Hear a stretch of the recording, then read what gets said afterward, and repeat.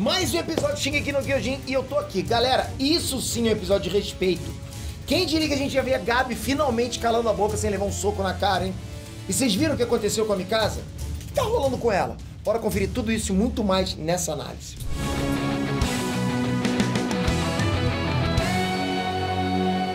Uma grana extra nunca é demais, concorda? Por isso você pode fazer hoje ainda uma conta na Binomo. Se liga, ela é uma plataforma gratuita de negociações online para iOS e Android que te ensina a investir dinheiro na prática. E é muito fácil. Você baixa o app e inicia com uma conta demo, sem pagar nada por isso. Daí você começa a treinar sua percepção para prever as tendências dos gráficos.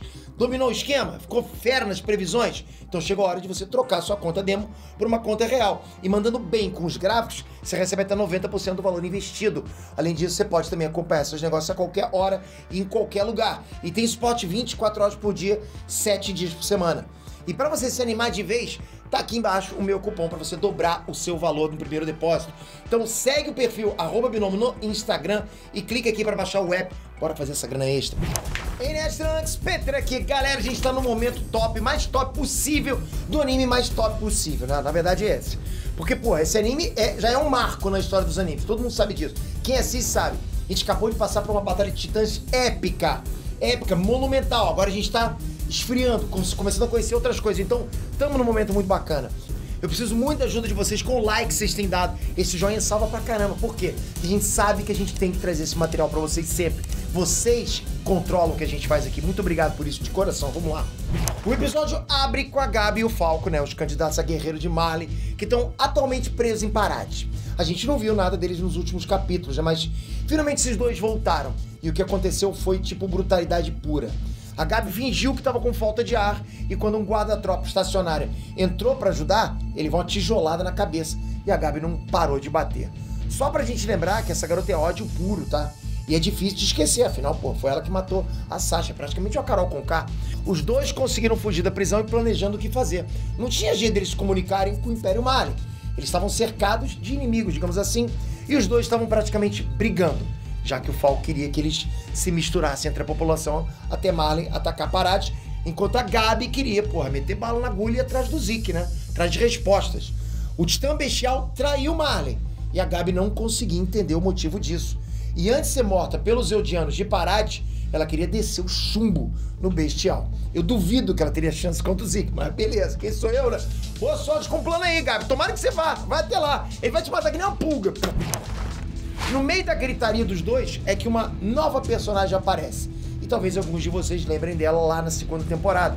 Mas para quem prestou atenção, alguns episódios atrás a gente viu o enterro da Sasha e a gente viu a Kaia.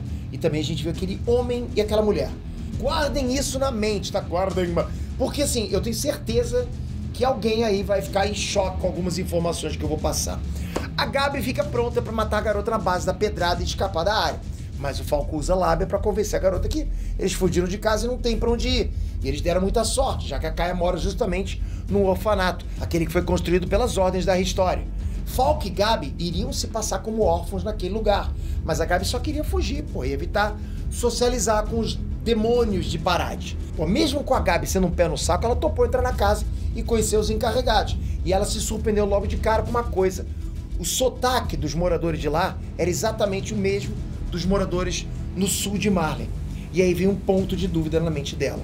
Pô, os eudianos bons vivem em Marley, os eudianos ruins vivem em Parade. Mas aqueles eudianos carregam um traço único de eudianos bons.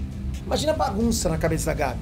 E as coisas vão se agravando, porque a Gabi foi alimentada e tratada com respeito por demônios de Parade. Pô, os demônios de Parade tratando ela com respeito. Na mente dela tava passando algo do tipo, pô, what the fuck, como assim? Eles são de Parade, mas não parecem ruins mas logo vinha a certeza dela de que eles eram pessoas más, descendentes de monstros que massacraram países. Não dá para confiar neles ou respirar o ar que eles respiram. E nem comer a comida deles, porque tipo é tudo podre. É muito bacana o jeito que o anime transmite esse pensamento da Gabi.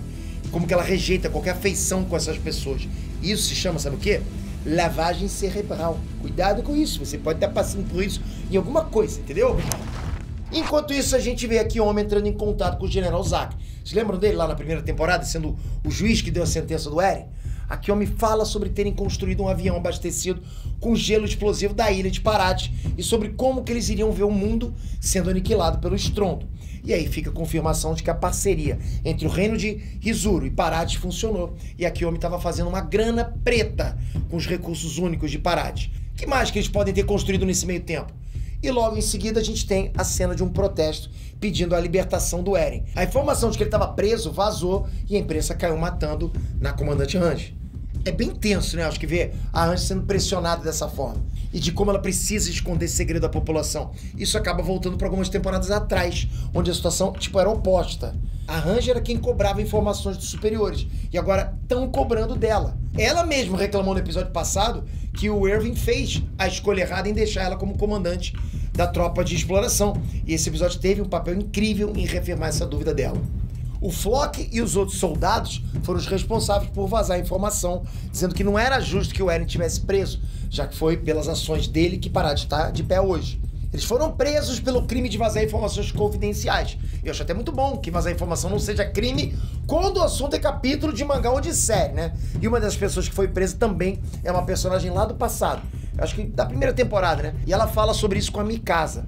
Vocês lembram quando a Mikasa salvou uma multidão do ataque de um titã anormal por causa de uma carroça bloqueando a passagem na muralha? A garotinha que foi salva cresceu e entrou na tropa de exploração. E ela diz que admira Mikasa e o Eren e questiona o motivo da Mikasa não tirar o Eren da prisão. E aí que rola algo estranho. A Mikasa coloca a mão na cabeça e começa a ver flashes de memória. Lembrando o quê? Lembrando do dia em que ela foi sequestrada e o Eren salvou ela. O que que tá rolando com a Mikasa? Será que isso vai acontecer só dessa vez ou vai se repetir? Bom, vamos ter que esperar para ver essa aí. Por conta da prisão do Flock, né, o comandante Pix foi até a Helena para bater um papo dizendo que eles tinham alguma ligação. Só que a cena é cortada para Gabi e o Falco, que estavam fazendo alguns trabalhos domésticos.